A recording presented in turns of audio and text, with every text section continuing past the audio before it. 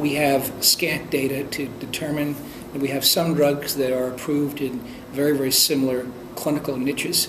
Uh, for example, uh, cabazitaxel as well as abiraterone and now MDV 3100, which will probably be approved as uh, therapy post docetaxel. So have three drugs in the same space.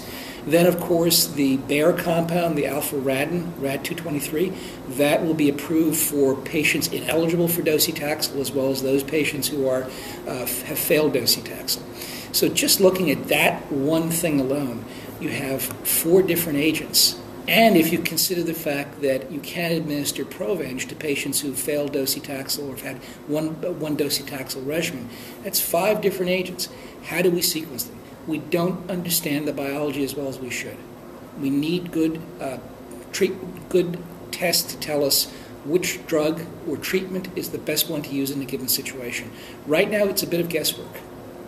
Uh, if a patient is rapidly progressive, one tends to go towards chemotherapy, although there's really no evidence to use that at this particular point. Uh, that's just basically what a lot of clinicians are used to.